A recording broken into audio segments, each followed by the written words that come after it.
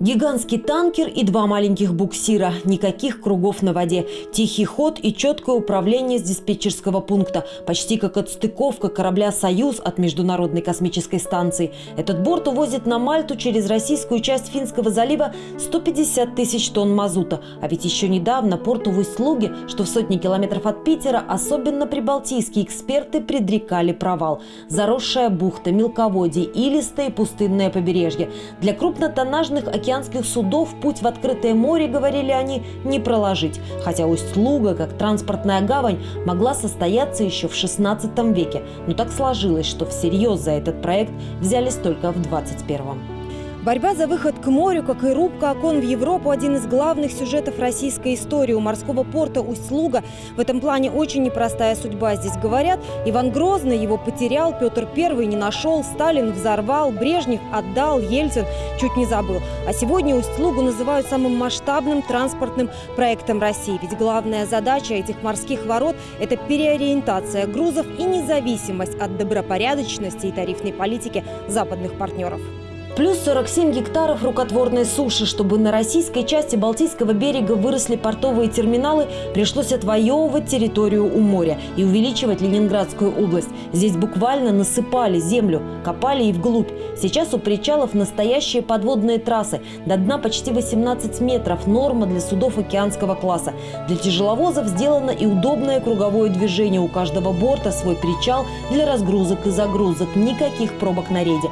Сегодня Луга порт – это 11 терминалов, которые способны пропускать до 180 миллионов тонн различных грузов в год. И это завершен только первый этап строительства. За очень короткий срок были сделаны огромные работы, связанные с освоением искусственного земельного участка. А, и мы смотрим с огромной надеждой на этот проект.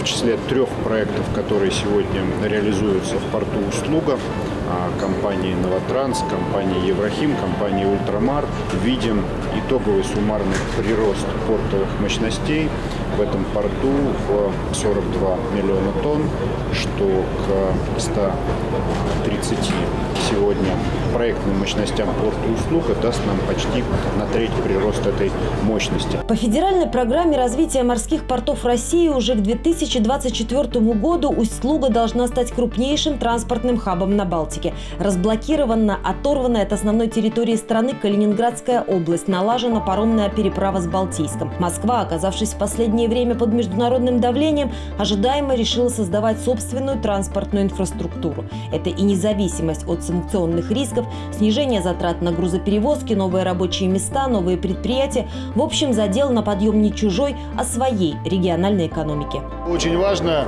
и на уровне Министерства транспорта, и на уровне российских железных дорог синхронизировать а, все будущие грузы, которые будут сюда приходить, а, прежде всего в Новотранс и в целом в Ленинградскую область.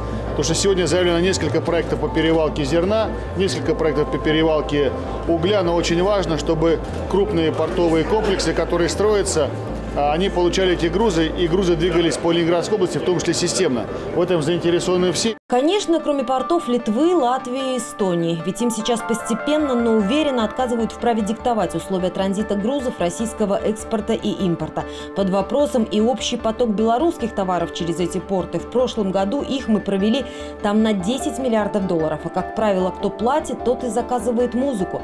Россияне теперь предлагают не заботиться о политических рефлексиях и претензиях со стороны стран Балтии и белорусам. В том числе об этом губернатор Ленинградской области говорил на встрече с Александром Лукашенко. Партнерские отношения с этим регионом давние, и ситуацию все понимают, поэтому готовы предлагать схемы для маневров. Ведь мощности гавани в услуге постоянно растут. Там, например, сейчас создается крупнейший отгрузочный комплекс для перевалки минеральных удобрений с пропускной способностью до 25 миллионов тонн, а это один из главных наших интересов.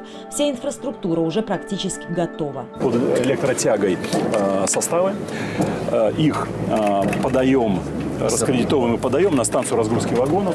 Все здесь предусмотрена аспирация, все-все-все.